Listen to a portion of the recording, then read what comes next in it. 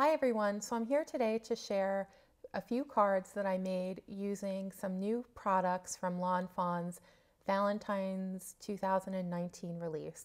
So I picked these up at my local craft store yesterday and I was just so excited to start using them. So first, this is the Let's, Let's Toast stamp set and it's really adorable. There is a toaster, an avocado, a piece of toast, a Pop-Tart, some butter, and lots of great punny sayings.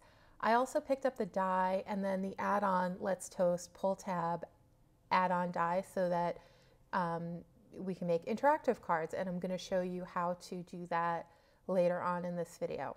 So this is what the Let's Toast stamp and die set looks like. I also picked up this Polka Heart backdrop um, die in landscape and I also use that a lot on these cards that you're going to see in this video.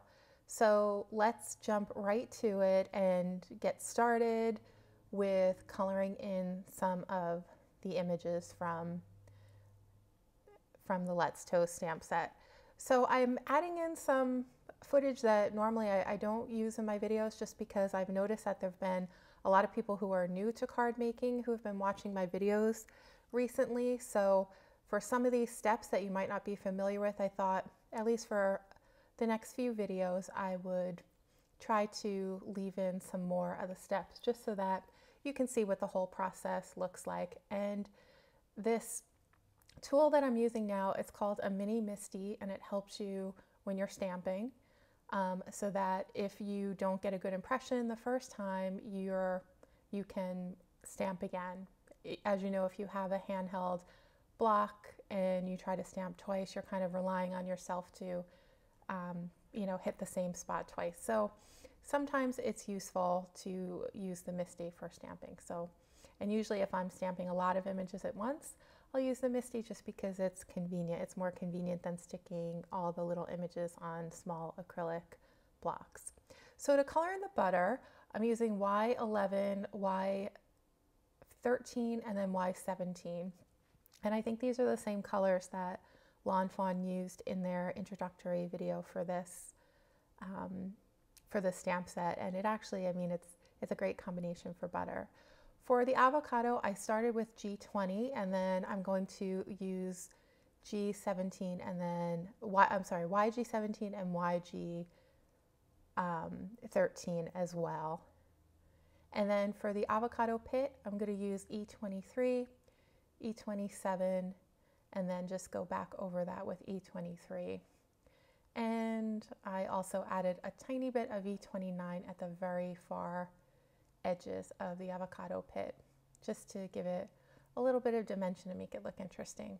For the outside of the avocado shell, I guess that's what it is, is that the, or skin of the avocado, I'm using some YG markers and then a G29 marker around the very, very outer rim just to darken it up and make it stand apart from the inside of the avocado.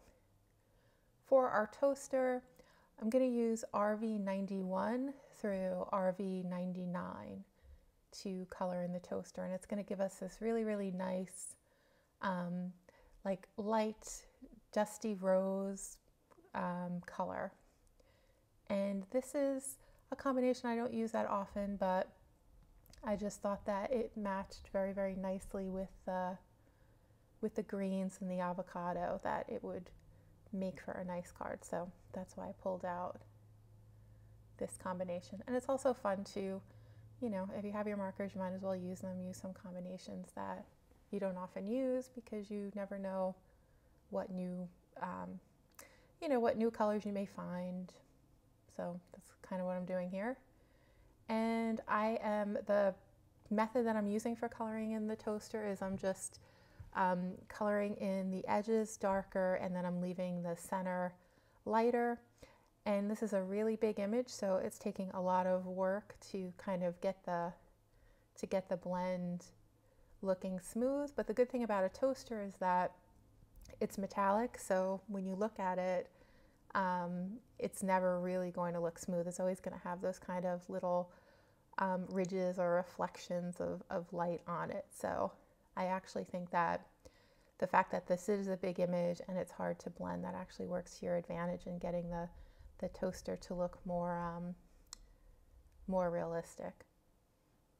And actually this is like any stainless steel appliance that I have in my house that I like dust by myself ends up looking like this because I'm just not that good at housework. So I'm just showing you how to refill a marker. So I wait until my markers get dry when the tip gets a little white and then I will add between 30 and 40 drops of the, um, the refill and I will um, apply it on the chisel end. You never want to remove your brush tip from your Copics because you'll ruin it and you won't be able to use the brush tip again. But the chisel side comes out really, really easily. So that's how I refill my markers. And I just kind of, um, you know, hold the whole thing in a tissue so you don't get alcohol ink all over your hands. I would not um, use more than 30 or 40 drops on a dry marker because then it'll be overfilled, overfilled and it'll drip all over your projects.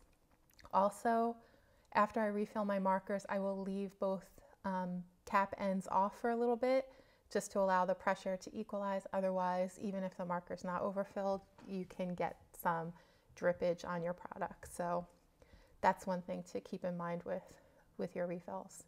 I also think that Copic sells like a special tool to use if you want to refill your markers, but I've never used that. I just kind of use my hands and tissues and I make sure only to um, remove the, the chisel nib. Okay, so getting back to the coloring, so for the metal, I'm using my toner grays from T0 to T6, with T6 being the darkest shade. And I'm just kind of blending everything out with my T2 now. I find that the toner grays are really, really good for metal, but honestly, any of the grays in the Copic family will do. For the bread, we're going to use E41 and E43. Um, other good combinations for the bread would be E50 and E53 or E30, E31, and E35. Those all make really, really nice colors for bread, I found. And then I'm not going to do it here, but another fun thing to do when you're making the bread is once you have your blend done, go back over the edges with the darkest marker that you're using and just kind of dot it. Make like tiny little dots here and there. Um, and then when you look back at it, it's going to look like the little, the little craters or the little bubbles that, um, that we see in our bread, the crumb of the bread, I guess that's what it's called. So some of the little toasts that we'll use later on in the video will have that effect, but I didn't do it here because I hadn't thought of it, frankly, at this point, this early on in my um, am I just playing with this stamp set? Okay, for the Pop-Tart, I'm going to use E30, E31, and E35. And like I said, the for the same colors that look really, really good for the toast will look good for the edges of the Pop-Tart. And if you want to make a chocolate Pop-Tart, which we will do a couple of those later, then I would just use the darker, your midtone and your, your darkest color instead of using light and midtone or light midtone and dark. Um, I guess this one is a strawberry Pop-Tart that we're making, so I'm using RV 52 and RV 55. And then I'm just going to blend that all out with my RV 52. And then an RV 00 in the, in the very center. Now I'm just um, getting out the dies and I die cut everything off screen and I separated out the dies off screen as well. So I have pre-cut all my paper. So I'm using some pattern paper from the Lawn Fawn Rainbow collection that I think this was released last year. And I just attached that to my A2 size card base.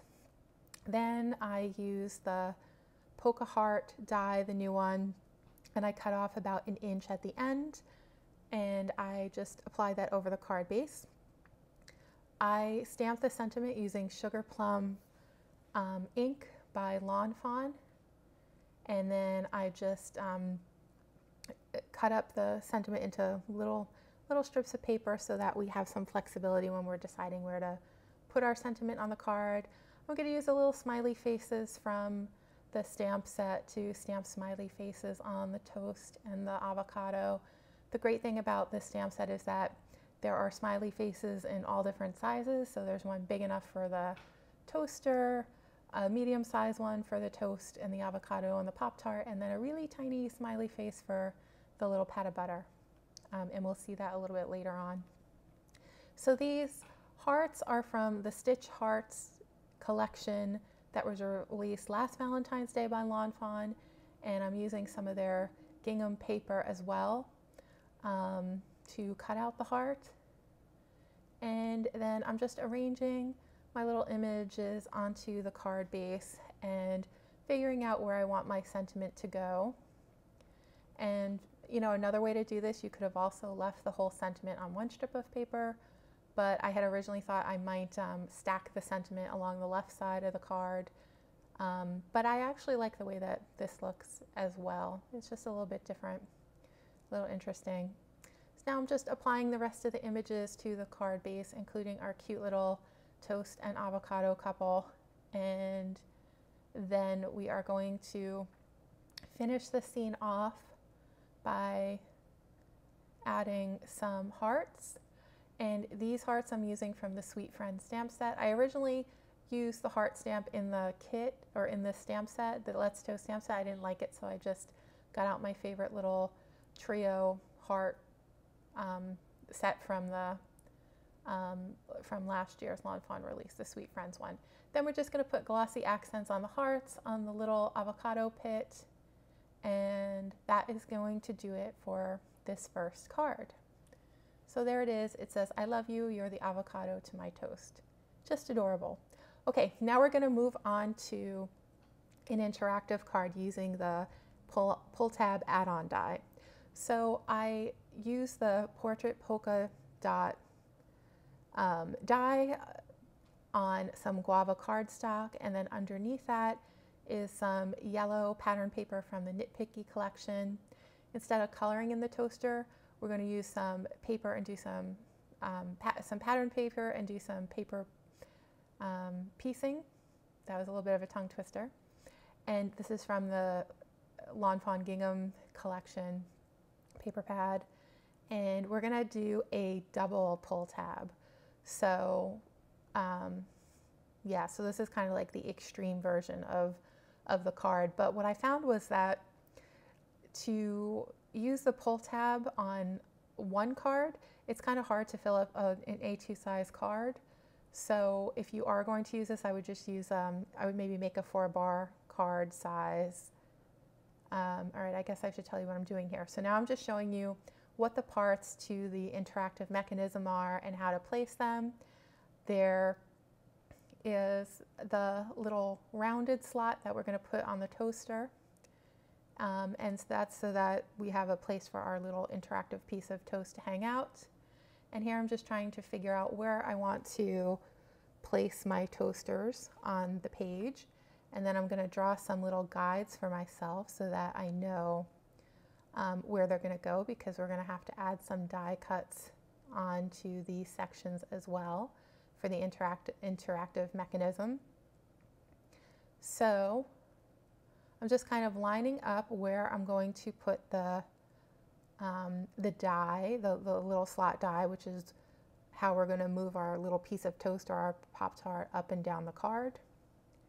And I just made sure to mark where the top of my toaster is. That's where the top of the of the um, the the slot die is.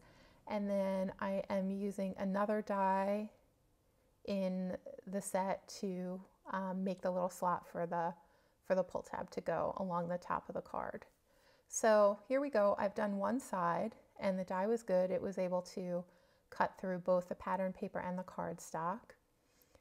Um, and now we're just going to do the same thing on the other side. I'm just applying my slot die to where um, our toaster is going to sit and then I'm going to put the other pull tab die along the top so we can cut a little notch. Um, now I'm just showing you what um, that little notch die looks like in the toaster so you can see it's rounded and that's where the little toast is going to go. Um, this one did not cut all the way through so I'm just using my tool in one to kind of poke it out All right, so this part, watch closely. This is the interactive mechanism and you're going to fold it inwards and then outwards. Inwards and then outwards. And then when you're done, it's going to create what actually looks like a little piece of toast on the front, right? And then we're going to use our bone folder to make sure our creases are nice and good. And then we're going to thread this piece through the back of our card panel. Okay, so just watch what I'm doing here. So you're just going to take both those little flaps and thread them through. And now you have your little interactive mechanism that is all working. And I'm just showing you what it looks like front and back. And that is where the little toast or the little Pop-Tart's gonna go. So before we make our Pop-Tart all interactive, let's dress her up and add a little smiley face, a little bow for her hair, and then maybe put some makeup on her cheeks and give her a few freckles as well. And then once her face is all done, then, it, then we can put her on the card. Um, but first, we're going to attach, this is another part of the interactive piece, and this is just gonna hold our little pull tab in place. So I'm just folding it, and then it is going to attach to the back of the card base, and our pull tab is gonna slide along it. So the only place you wanna put tape to start is on the part of the pull tab that is going to be touching the card base just to attach it. Nowhere else on the inside of the, of the pull tab. So I'm just placing my little um, piece of paper and then we're going to add a piece of tape along the small notch and then we're going to fold the large notch over the small notch. And now we have a little pull tab mechanism that is held in place so it won't kind of go to the left or the right when the recipient is trying to use it. And I'm just, now I'm going to cut off the excess that I don't need. So you want to put it all the way in the down position when you do that. And then make it even with the top of the card. Or if you want your pull tab sticking out, that's fine too. It could stick out. I just wanted mine to be um, level with the top of the card. This is another die that comes in the set and this is just going to um, it's a little handle so that your recipient knows to pull upwards. It has a little arrow on it. Okay, so now let's attach our Pop-Tart to our interactive mechanism. The important thing here is you want to make sure that the tape does not go higher than the pull tab mechanism it's going to be sitting on because if it's higher it'll stick to the card stock, the card panel, and then it won't work. So you just want to only put tape about halfway from the bottom to the middle of the little Pop-Tart or toast. Okay, so as you can see, we had a little issue the first time. um, the first time I used one layer of foam tape to attach my toaster and that didn't work. It just didn't give the Pop-Tart enough room to move. So then I had to rip it off and start over and apply two layers of foam tape. And don't worry, we're gonna do this another time. You'll get to see the whole process done the right way. So in the process of tearing off my little toaster, it was wounded in battle, but we're gonna save it. We are just going to put a little heart um, right on top of the boo-boo. So we're gonna like kiss it, make it better. And then no one will ever know that um, that little part of the toaster tore. So instead of starting over and cutting out a new toaster, I was like, this little toaster wants to be part of this card, so we'll just fix them up. And it actually, I like how those little hearts look on the side too. Um, it ended up being like a really, really cute design element that I wouldn't have thought of if we didn't have that issue. Um, so now I'm just working on the interactive mechanism for the second card. Doing the same exact thing. Um, we're going to just thread it through the back again like we did the first time. And then we're gonna make sure that it works. And for this one, what are we doing here? Now um, I am just going to, this time I just drew where I wanted my um, little track to go because the first time I felt it was a little bit off center. So this time I just um, you know, drew myself some guides so I knew where to put my track. So I'm just going to cut off the excess again. And then we're going to apply the little handle, the same that we did the first time. This time using um, ballet slippers cardstock for the handle. The other handle is mermaid cardstock by Lawn Fawn. And so even though there's lots of smiley faces in the Let's Toast stamp set, I wanted one of my little toasts to have a mustache. So I just grabbed the little mustache smiley face from the Love You a Latte stamp set that was just released this um, Christmas.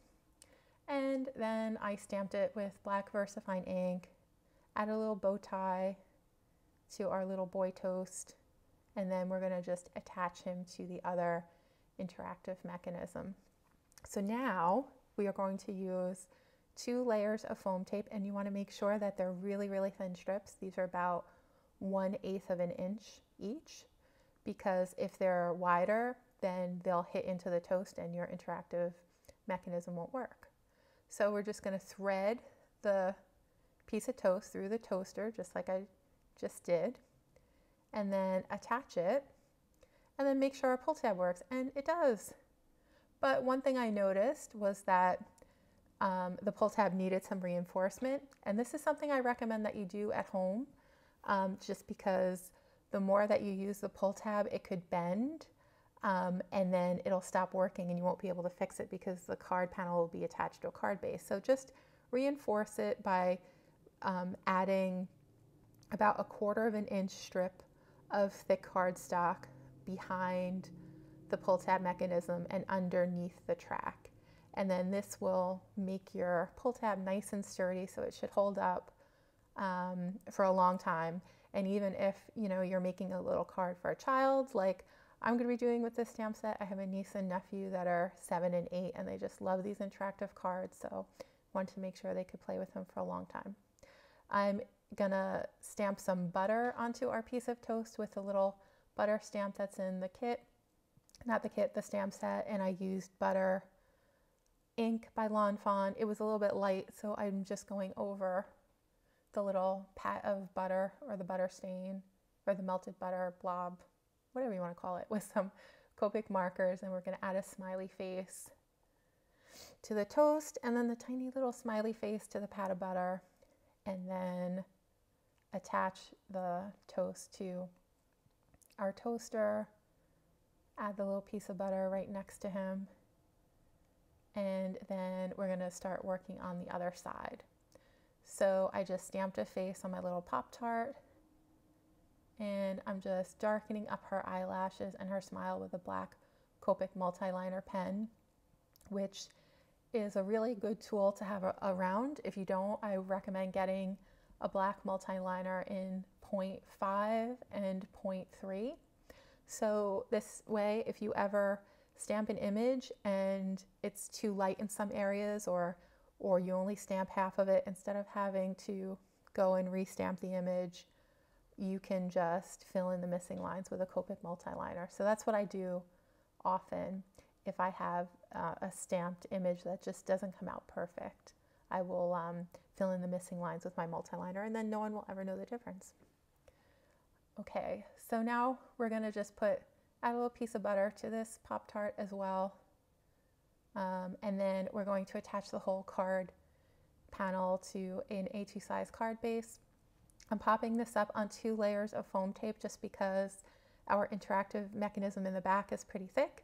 So I wanted to make sure that it didn't get stuck um, and it had enough room to kind of freely move around. And then I stamped a sentiment from the kit that says popping up to say, You're my butter half. So cute. Um, and I'm just trying to figure out now where to place the sentiment on the card. And I think I figured it out. And now I'm just attaching the sentiment. And I just use some white Lawn Fawn embossing powder to stamp the sentiment on black licorice cardstock.